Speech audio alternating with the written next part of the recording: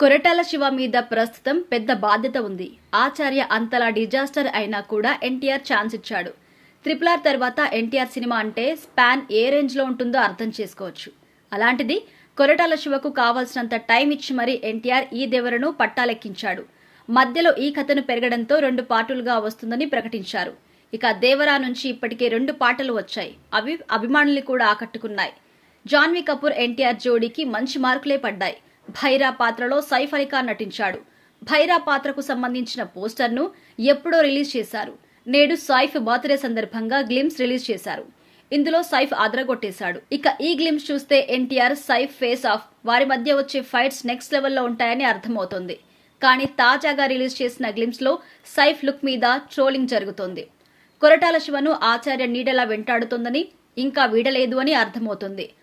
ఆచార్యలో Sonu Sood look లాగానే Bhaira look ఉందని సోనూసూద్ సైఫ్ ఒకేలా కనిపిస్తున్నారని ట్రోలింగ్ స్టార్ట్ చేశారు.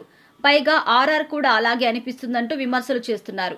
భైరా గ్లిమ్స్ రావడం ఏంటో కానీ దెబ్బకు ఆచార్య ట్రెండింగ్లోకి వచ్చింది ఆచార్యలోని సోనూసూద్ సీన్లు ఇప్పుడు ట్రెండ్ అవుతున్నాయి. ఇలా దేవర మీద ఇప్పుడు జరుగుతున్న ట్రోలింగ్ సోషల్ మీడియాలో చర్చకు దారితీస్తోంది ఎన్టీఆర్ అయితే ఎంతో నమ్మకంతో కొరటాల శివకు అవకాశం ఇచ్చారని దాన్ని డైరెక్టర్ వాడుకొని సినిమాని అద్భుతంగా తీసి ఉంటాడు అని యంగ్ టైగర్ ఫ్యాన్స్ అనుకున్నారు. సెప్టెంబర్ ఇరవై ఏడున అయితే బాక్సాఫీస్ వద్ద దేవరా సందడి చేయబోతున్నారు. ఆల్రెడీ మ్యూజికల్ ప్రమోషన్స్ అయితే పీక్స్కి చేరుకుంటున్నాయి. టీజర్ బయటకొస్తే సినిమా మీద ఒక్కసారి అంచనాలు రెట్టింపవడం మాత్రం ఖాయమనిపిస్తోంది.